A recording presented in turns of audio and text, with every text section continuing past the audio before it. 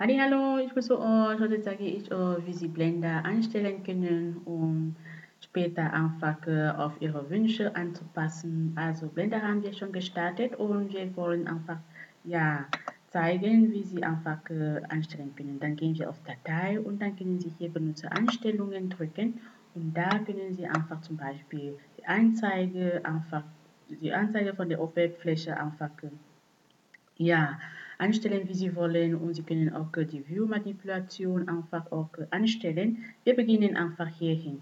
Also Tool Display haben wir ein Häkchen drauf gemacht. Es bedeutet einfach, wir wollen einfach die Sachen sehen und hier bedeutet einfach, wir wollen einfach nicht nur die Sachen sehen, sondern die Referenzen auch und wir wollen auch die äh, Objekt einfach sehen, also zum Beispiel Name und Bildnummer einfach in 3D-Ansicht einfach sehen.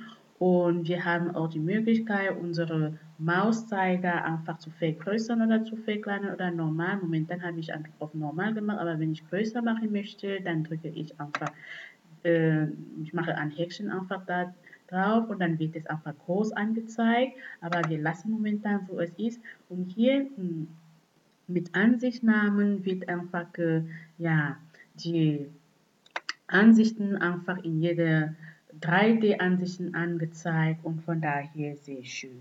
Und hier wird einfach äh, die Frequenz des Bildes einfach gezeigt, also von daher sehr einfach zu machen.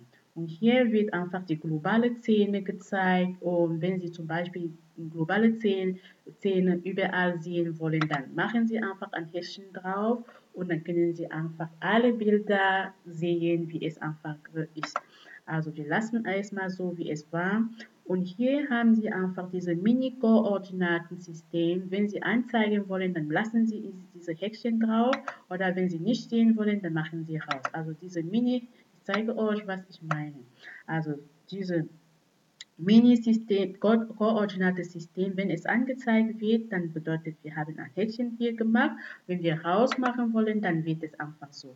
Also und Sie haben die Möglichkeit einfach auch hier einfach die äh, Größe zu ändern und die Helligkeit einfach auch hier zu ändern.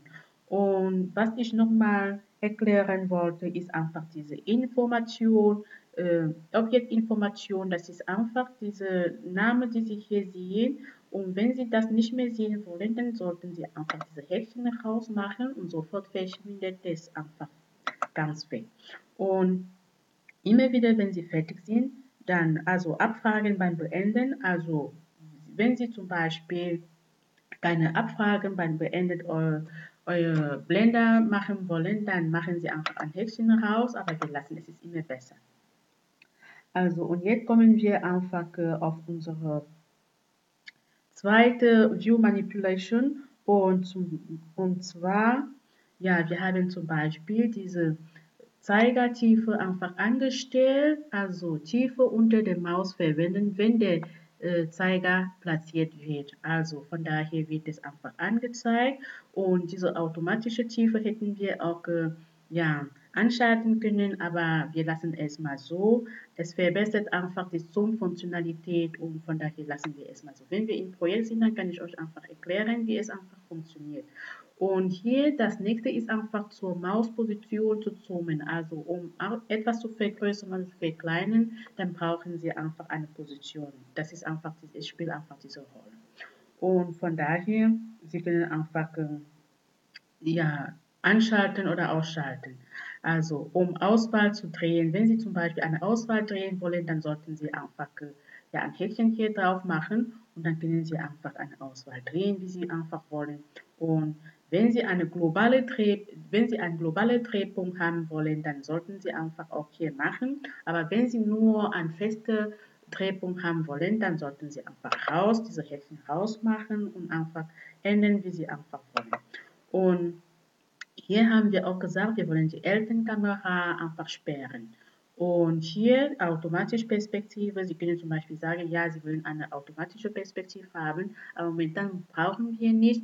Wenn wir im Projekt sind, dann können wir die Sache richtig anstellen, wie wir einfach haben wollen. Und hier können Sie zum Beispiel die über die Übergänge einfach so anstellen, wie Sie wollen und die, den Winkel auch anstellen, wie Sie wollen. Also und hier haben Sie auch die Möglichkeit, diese 2D-Viewsport einfach anzustellen und von daher alles ist einfach, ja, sehr, sehr einfach zu machen. Und von daher, ich werde euch nochmal genauer zeigen. Also wenn Sie fertig sind mit allen Einstellungen, die Sie haben wollen, dann drücken Sie einfach auf Benutzeranstellung speichern und es wird einfach gespeichert. In dem nächsten Video zeige ich euch, wie Sie editieren können und auch mit der Angabe machen können. Wir gehen einfach schrittweise und dann erkläre ich euch einfach.